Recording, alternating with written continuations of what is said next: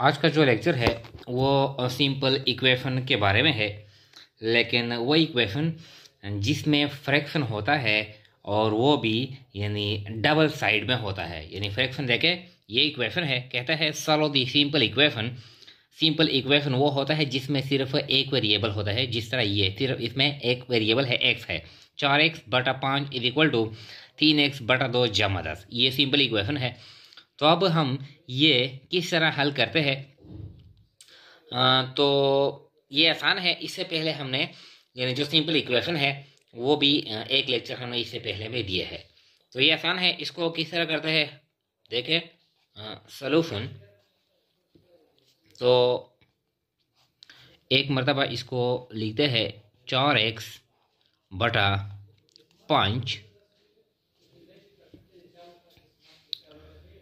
Equal to तीन x बटा दो जमा दस।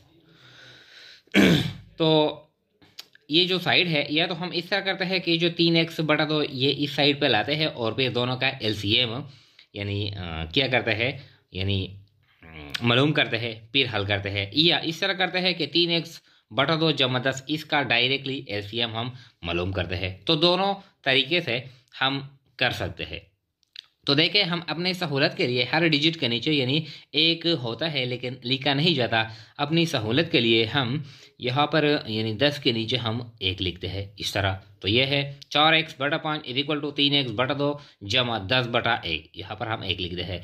अब इन, ये जो लेफ़्ट हैंड साइड है, इनका एल हम लेते हैं। तो देखें, चार एक्स बटा पाँच इज़ इक्वल टू दो और एक का एलसीएम लेते हैं, और फिर दो और एक का जो एलसीएम है, वो दो है, इस तरह। तो इन, ये ये जो दो है, इससे हम दो किस तरह हासिल कर सकते हैं? एक में ज़रब है, एक ज़रबे दो, इससे दो आता है ज़रबे। अब ऊपर की है तीन एक्स है तो तीन एक्स, इस तरह।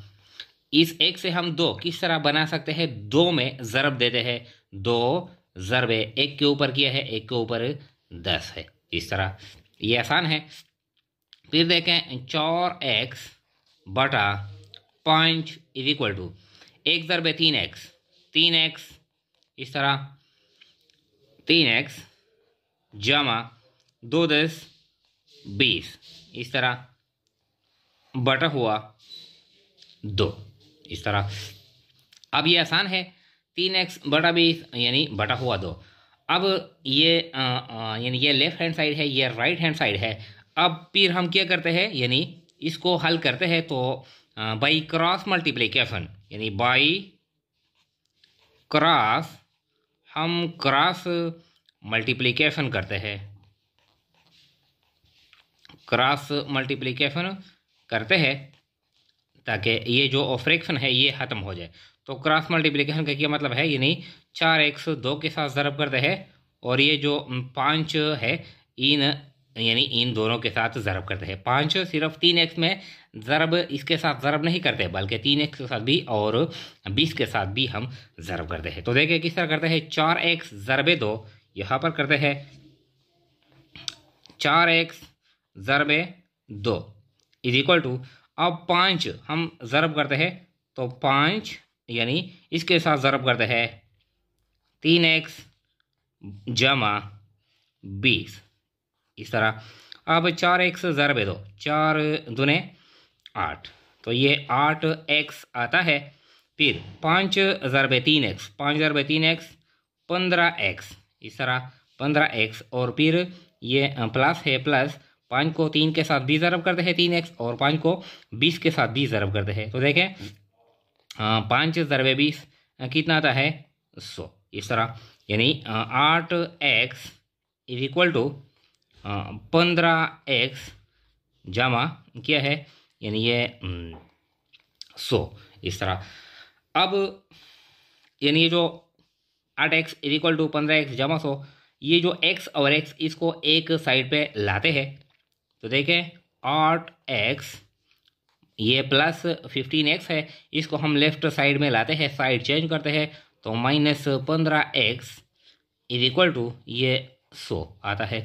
तो आठ एक से पंद्रह माइनस करते हैं तो क्या आता है? सात आता है, लेकिन पंद्रह का जो सिंबल है, माइनस है पंद्रह, जो डिजिट है, वो बड़ा है, यानी एट्स है तो माइनस सात एक्स इक्वल टू सौ। इस तरह। अब एक्स के साथ जो डिजिट है, दोनों साइड को इन पे तकसीम करते हैं तो देखें। Divide divide by minus seven both the sides यानी जो दोनों साइड है, यानी माइनस सात पे दोनों तकसीम करते हैं। तो माइनस सेवन एक्स बटा हुआ minus seven is equal to सौ बटा हुआ माइनस सेवन इस तरह। तो ये माइनस सेवन माइनस सेवन ये ख़त्म हो जाता है। एक्स इज़ इक्वल टू ये अगर कंप्लीट डिजिट यानी ये मुकम्मल हम तकसीम नहीं कर सकते। यानी सौ सात पे हम मुकम्मल तकसीम नहीं कर सकते तो इसका ये आंसर है माइनस सौ माइनस सौ बटा हुआ सात। सौ बटा हुआ माइनस सात या दोनों एक जैसे है या माइनस सौ बटा हुआ सात।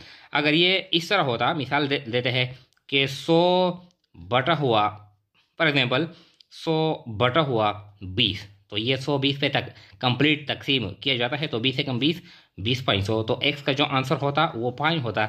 लेकिन यहाँ पर हम सौ सात पे हम तकसीम नहीं कर सकते। तो ये क्या है? ये यानी फाइनल सोल्यूशन है। यानी X is equal to X की जो वैल्यू है माइनस सौ बटा सात। ये हमारा आंसर है। इस तरह।